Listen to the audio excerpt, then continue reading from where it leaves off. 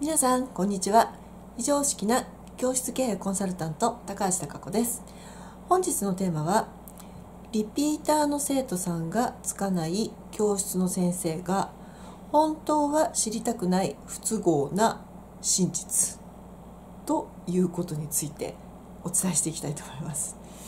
えー、とですねあの集客とあと制約の過程っていうものがまず教室の経営には必要な内容があるんですけれども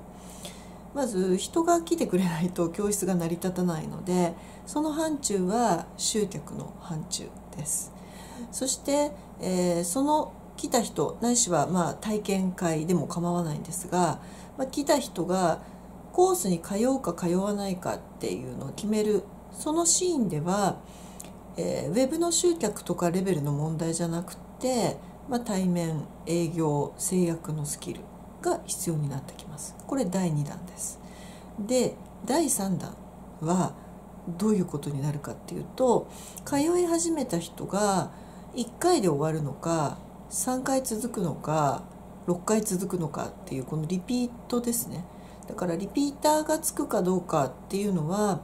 先生の経営教室の経営がどれだけ楽になっていくかっていう部分の非常に大きな肝になる大切な要素なんですよ。それであのお話を伺っていると皆さんものすごく集客には興味があって、えー、集客は頑張るんです。例えば SNS の集客ね、うん、Facebook、えー、Instagram ブログ YouTube まあ何でもいいですよ。そこはね力入れてまあまあ頑張るんですよ。皆さんもやってるからだと思うんですけどもね。でもちろんそれがまず第一歩の要であることは間違いないんです。だけれども結局せっかくそんなに苦労して来た生徒さんが辞めてしまうないしは続かない来ないという場合においてはまたゼロから集め直さないといけないですよね。ですからあのその手間っていうのが知った人がもう一回通う手間の5倍っていうふうに言われています。ということはリピーターがつかない体制を持ってしまっている先生っていうのはリピーターがつく先生から比べて時間もコストもあの労力も全て5倍かかっていくっていうふうに思った方がいいと思います。とするとあの私の著書でもですねえー、集客量より成約率っていう、まあ、お話とかも書いているんですけれども制約することはもちろん大事なんですけどした後が実はもっと大事だったりするので、えー、今日はそのお話をしていきたいと思います。えー、っとまずですね、まあ、本題には入るんですがタイトルがですね「本当は知りたくない不都合な真実」っていうあのタイトルになってますので、えー、今日のお話は若干思い当たる節がある人にとってはちょっと耳が痛い話に多分なる予定です。でなぜこの話を私がするかというとあのまあ単体の面談でもそうですし、えー、実際に続いているクライアントさんの面談でもそうなんですが、えー、いろんなシーンのいろんな状態でご相談を受けます。でその際にあのご本人は要は人が来ていないのは集客ができてないからだというふうに勘違いをしているんですがよくよく分析をして聞いているとリピーターがついてないから経営がうまく回っていないというケースが実は多かったりするだから要は生徒さんがいなくなってしまうから集客をしなくちゃいけないわけですよね。だけれどもせっかく集客をしたのに続かないとまたゼロからやり直しっていうこれのサイクルが見えていないので集客頑張ろう集客頑張ろうっていうふうにしてしまうんですよ。だけど本質的には集客を頑張ることが本質じゃなくてリピーターとして長く続けてくれる生徒さんをどれだけ作れるかの方が実は大事なんですがその辺りに気が回ってない先生が結構多いというふうに思ったので、まあ、この話をしていくんですけれどもね。じゃああの先に結論を言います。えっ、ー、と本当は知りたくない不都合な真実っていうことでそのリピーターがつきにくいつかないつきにくい続かない先生の共通する特徴が3つあります。3つ。はい。その3つを先にお伝えしたいと思います。まず1つ目。話が長い、えー、その先生が、えー、例えば、まあ、私もそうだし、まあ、生徒さんとかに伝えてるようなレッスンを拝見させていただくようなケースもあるんですけれどもあの先生が結構いっぱいしゃべる。で伝えることが多いからもちろん生徒さんはレッスンを習いに来ているのであの必要なスキルとかノウハウをしゃべるのはもちろん何ら問題ないんです。だけれどもあのその辺りが結局生徒さんが置き去りになっちゃっている状態で話が進んでいくので、えー、要は次通おうかなっていう気にあまり生徒さんがならなくなっちゃうんですよね。あの人間って承認欲求が強いのであの誰かに認められたい褒められたいっていうのがまあまあ通常のあの持っているマインドなんですよ。でその段において、まあ、生徒さんも、まあ、何かしら習いに来るっていうのはあるにしても、まあ、自分の話を聞いてほしいとか自分の悩みないしは課題、えー、その教室に通っているので課題があるはずなんですよね。それを解決したいから通ってるんだけれども先生がそのレッスンのメニューの内容ないしはスキルのノウハウの話を一方的にバーッと喋ってしまうとその人の課題は解決されていないケースもあったりします。なので先生がずっと喋ってしまっているような教室のタイプの先生はあの生徒さんがね面白いと思わないというか次に行きたいっていう気分にあまりならないんですよね。だからリピートにならないっていう感じです。ですのでじゃあそういう時にはどういう対策をしたらいいのかっていうとあのその生徒さんがなぜ習いに来てるのかっていうことをあ先最初に動機をもちろん聞いていればその動機ベースに答えていくようにはお話をするんですがあの習いに来てるうちにだんだん目的が変わっていく生徒さんもいらっしゃるんですね。でそれはこちらがやはりあのお話を投げかけてあげてそのなぜ教室に来ているのかっていう要求に対して答えていくようなレッスン作りをカスタマイズしながらやっていくっていうスキルがおそらくこれからの教室の先生には必要になってくるんだろうというふうに思っているんです。昔は先生っていうものは尊敬されるべき職業で先生の言うことがある程度絶対でカリスマの先生のところに通うのがステータスっていう風潮が強かったのが10年くらい前です。で今も確かにカリスマの先生のところに通っているケースにおいてはその先生のところに通ってる私って素敵っていうのを自慢したいっていうあの感覚がある場合にはもう絶対的な存在になるのでそんなことはあんまり考えなくていいんですけれどもそうでない一般の先生においてはサービス業なので教室の先生っていうのは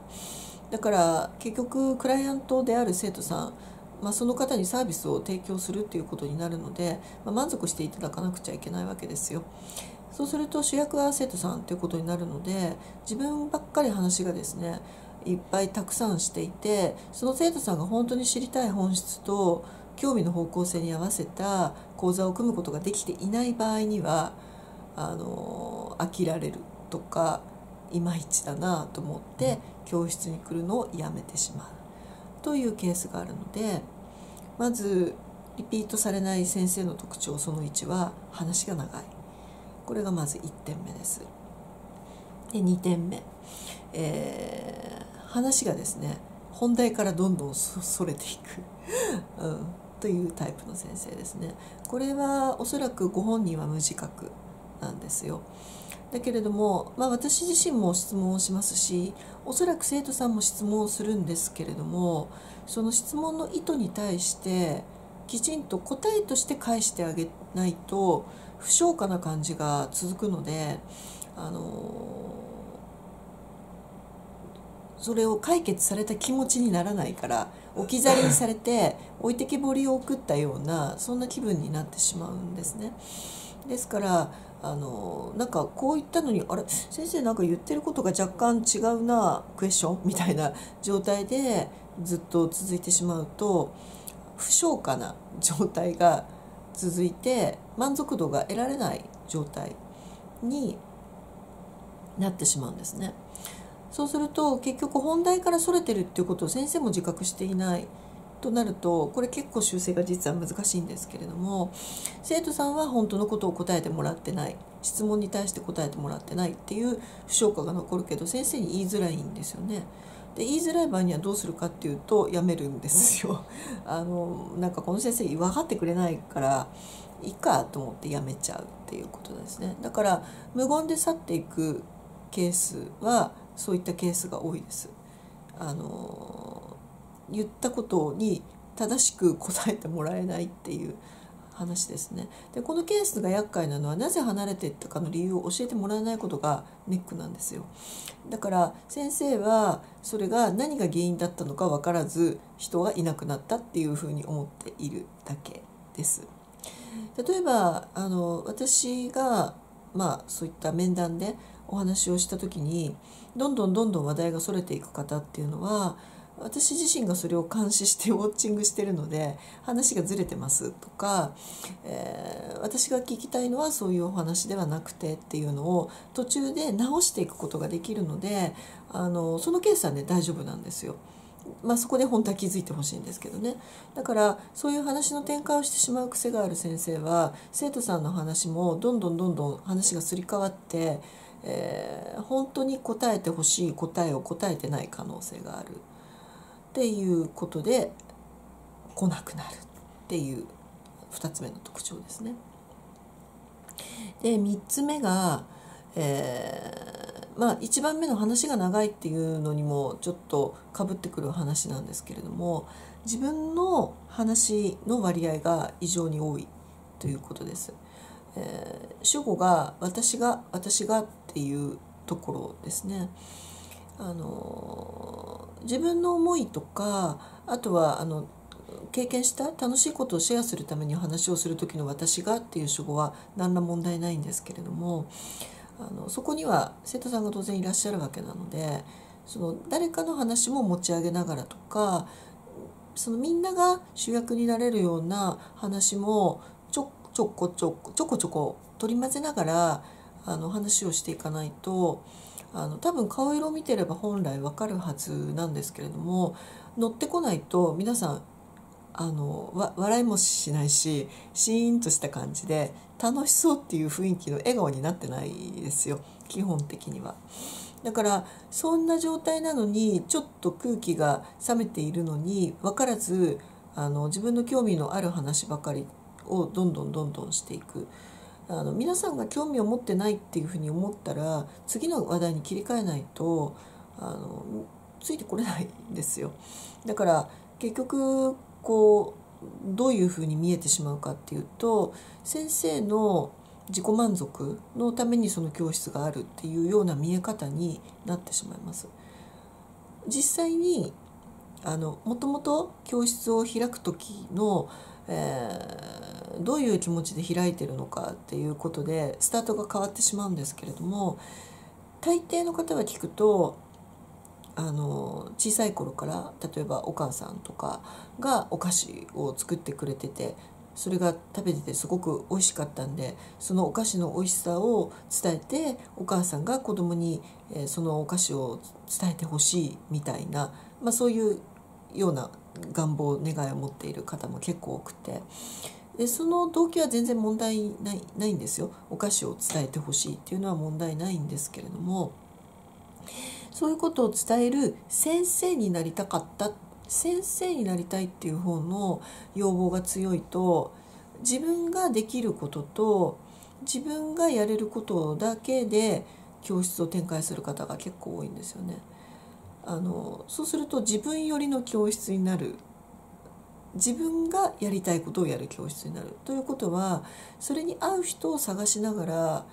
集客していかないといけないので皆さんが習いたいこと皆さんが知りたいことそちらを中心に教室の軸を組んでそして集客をしていく方とはやはり全然集客量と集客の難易度が全然違ってしまうんですよね。だからあの比較的やりたいことをやるために教室をやってる方が非常に多いので集客に苦労するんだろうなというふうに考えてるのが1点目と今のあの3点ですね、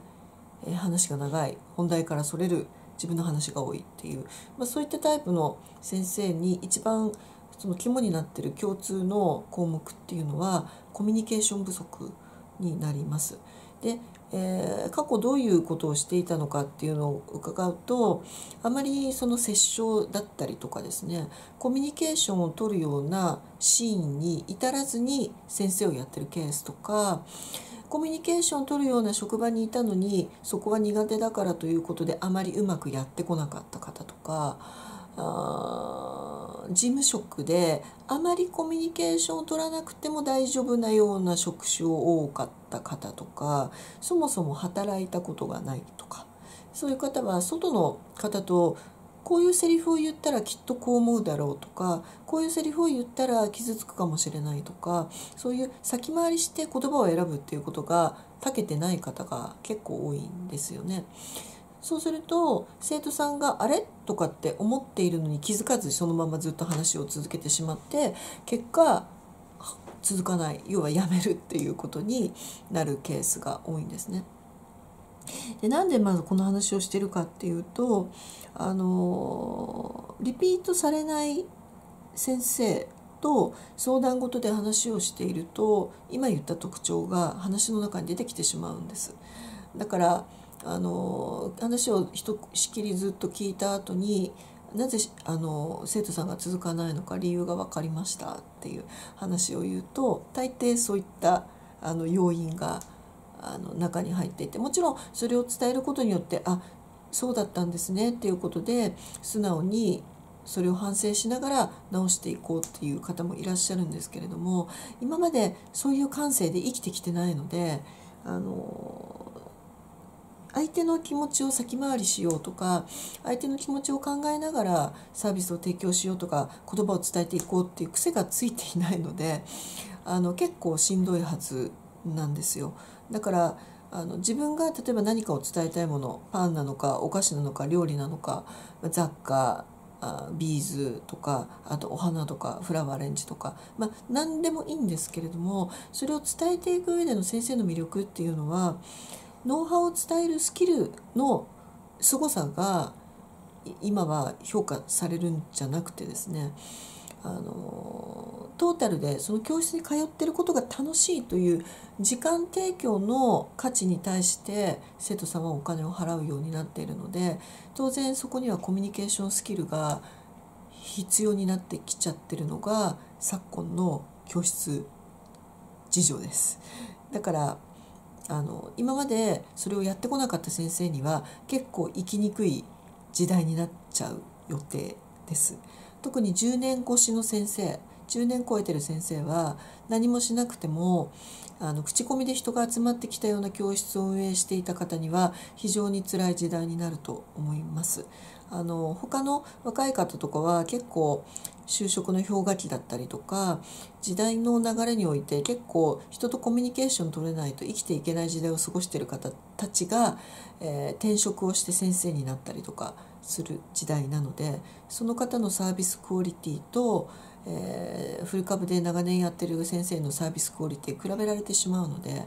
その段においてコミュニケーション不足っていうのはスキルの不足っていうのはかなり大きなダメージというかマイナスポイントになってくるなというのが、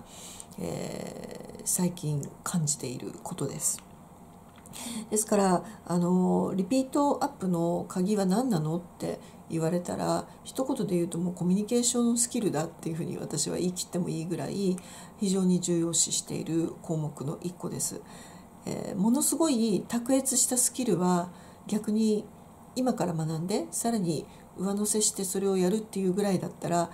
あのコミュニケーション上手に取れるその生徒さんの要望とかを組みながらうまく教室を回していくっていうスキルの方を重要視した方が多分教室はうまくいきます。なのであのそこを勘違いしたままあ自分にスキルがないんだもっとすごいあの技を習いに行こうって言って、えー、また違う教室というかうんスキルを教えてくれるところに習いに行っちゃうのがちょっとまたその先生の残念なところなんですけれどもね本質が違うところにあるっていうのを本当にわからないケースがその1と自分がそれを気づきたくない知りたくないっていう無意識に避けていることで封印をしているようなケースで気づかないっていうだから不都合な真実なんですよね。なんでその辺りを、えー、改善していく方からあのどんどん状況が変わっていくっていうのも実際に目の当たりにしてるので、えー、今日のまとめとしては、えー、不都合な真実先生がリピートがつかない先生の不都合な真実っていうのはまず1つ目は話が長い。2つ目が本題から話がそれる。3つ目が自分の話が多いっていうコミュニケーション能力の不足これが一番ネックになっているということを、えー、今日はお伝えしたいと思います。ですのでちょっとでも思い当たる節がある方は少しでも、えー、そういう観点でお話をしていくということをしていただくだけでも多分だいぶ変わってくると思いますので、えー、ぜひトライしてみていただければというふうに思っています。それでは